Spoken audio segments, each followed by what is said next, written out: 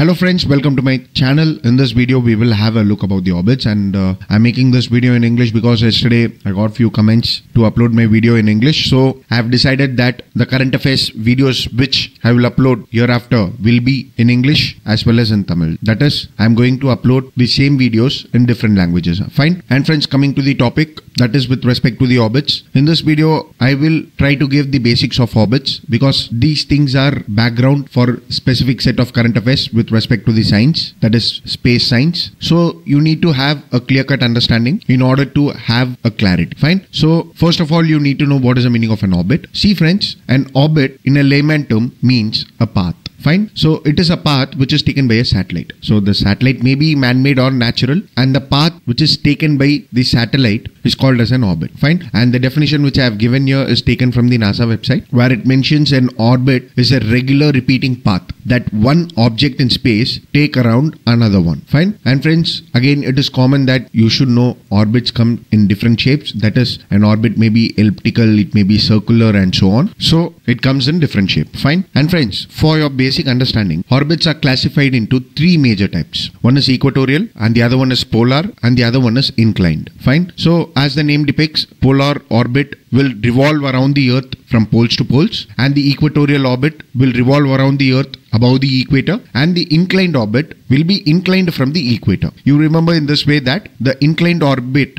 will be between polar orbit and equatorial orbit. Fine. So these are three basic orbits. And friends, again, orbits are classified into three different types that is low Earth, middle Earth, and high Earth orbit. See, friends, these classification are made with respect to the altitude, that is the distance from the Earth's surface. Fine. So if you take low Earth orbit, then the satellite will be placed below 1000 kilometers. Fine. So any satellite above the Earth's surface, and if it is below 1000 kilometers, then it is said to be in low Earth orbit. And the medium Earth orbit will be in between 1000 to 10,000. Fine. And high Earth orbit will be in between 10,000 to 36,000 kilometers approximately. Fine. So if any satellite is placed, say for instance, it is placed at 500 kilometers above the Earth's surface, then it is said to be in low Earth orbit. Fine. So this is how you classify orbit based on the altitude. Fine. So I hope you would have got a clarity with respect to polar orbit, equatorial orbit, inclined orbit, low Earth orbit, medium Earth orbit, and high Earth orbit. Fine. So what we will do now is we will see about geosynchronous orbit because you can come across this orbit in the newspaper frequently and it is very important for UPSC prelims examination. Fine. So if a satellite is placed, say about 35,786 kilometers above the Earth's surface, then the satellite is said to be in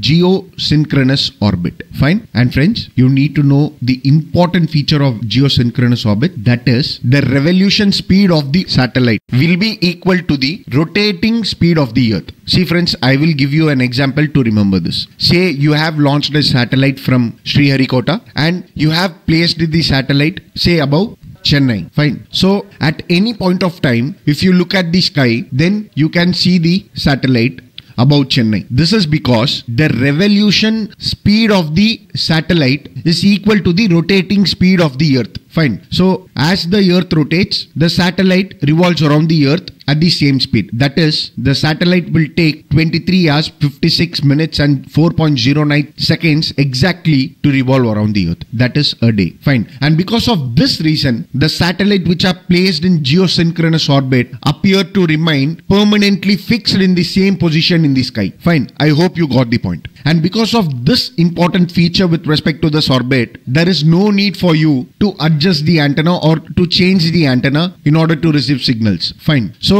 a fixed antenna will solve the purpose. And because of this feature, it is used for communication applications. Fine. So this is all about geosynchronous orbit. Now what we'll do is we'll see about geostationary orbit. Fine. If a satellite is placed above the Earth's surface that is at the height of 36,000 kilometers approximately and if the satellite is placed above the equator plus if the rotating speed of the earth matches the revolving speed of the satellite then it is said to be in geostationary orbit. Fine. So friends, please have a clear understanding. That is, in geostationary orbit, the satellite will be placed about 36,000 kilometers approximately and the revolution speed of the satellite will be same to the rotating speed of the earth plus the satellite will be placed above the equator. Fine. So this is the point which you need to focus on. That is the satellite will be placed above the equator. Fine. And the satellite will revolve around the earth from west to east. Fine. And one more important feature of this geostationary orbit is that if a satellite is placed in the geostationary orbit, then a single satellite can cover one third of the Earth. So, logically speaking, three satellites in the geostationary orbit can provide you full coverage of the Earth. So, this is the important feature of geostationary orbit. Fine. See, except for the polar regions, it will have a full coverage. Fine. And because of this particular feature, this geostationary orbit is an ideal orbit for telecommunications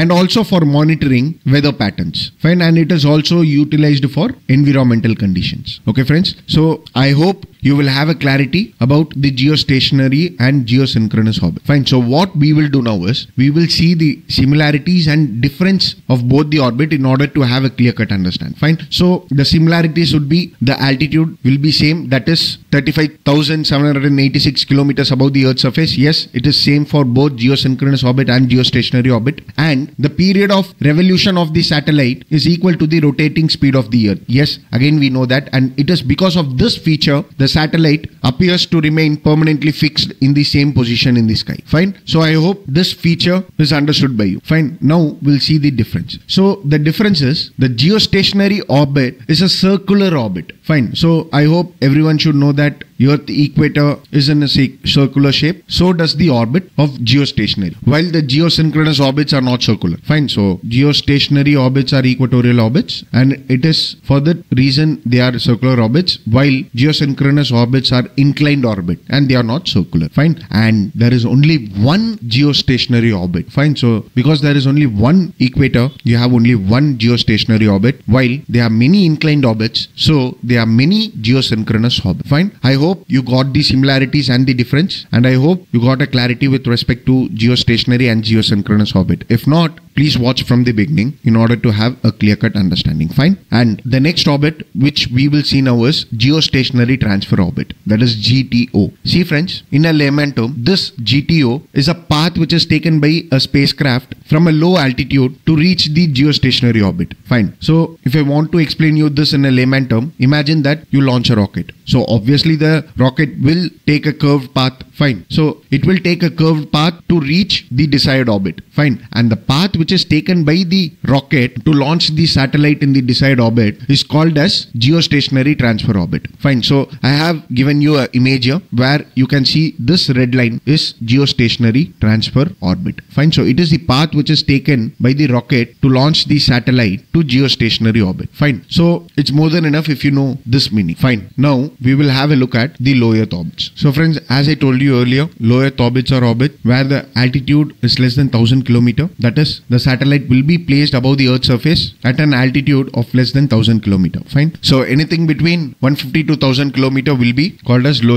orbits. Fine. And friends, I just want you to remember that in 2016 prelims there was a question about astrosat. Fine. So where it was asked that astrosat was placed at an altitude of 1650 kilometer. Fine. So astrosat was a low earth orbit satellite and the altitude was 650 kilometers while in UPSC examination it was asked that whether it is placed at 1650 kilometers. Fine. So this is how UPSC will trick you and if you don't know the basics you will tend to do the mistakes. Fine. So just remember that low earth orbits have an altitude less than 1000 kilometers. Fine. And the satellite placed in this low earth orbit travel at a greater speed. Fine. And it is said that a satellite which is placed in the orbit approximately takes 90 minutes to cover the whole earth it seems. So this is the speed at which a satellite travels in this orbit and I hope everyone should know the reason for this. It is because of gravity. Fine. So at the low earth orbit the influence of gravity will be more and in order to escape the gravity the speed of the satellite will be more.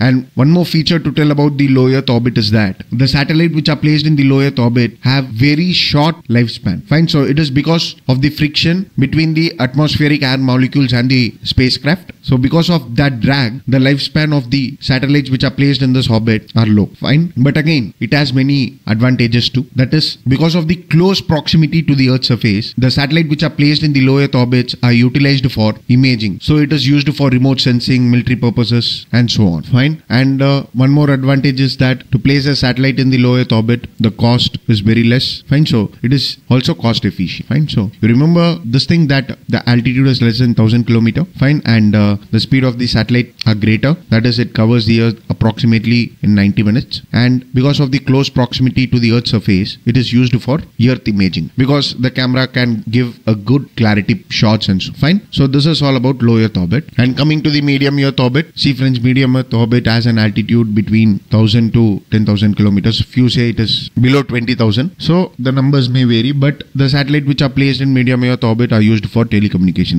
It is more than enough if you know these points. Fine. And uh, coming to the polar orbit. So as the name depicts, a satellite which is placed in the polar orbits revolve around the Earth poles, that is the North Pole and the South Pole. And friends, generally it is a misconception that if a satellite is placed in the polar orbit, then it will accurately pass through the poles. No, it is not that. Even if it is closely associated towards the pole, or even it passes closely towards the pole, then it is also called as an polar orbit. Fine. So slight variation is accepted. Okay. And friends, generally polar orbits are low Earth orbit, and one of the important feature of this polar orbit is that they pass through the equator in different longitudes. Fine. So this polar orbit satellites would pass over equator on different longitudes in a successive time. Fine. And uh, a satellite which is placed in polar orbits are generally used for earth mapping and earth observation. And generally polar orbit satellites are not utilized for communication purposes because it moves in a different direction than that of the direction of the earth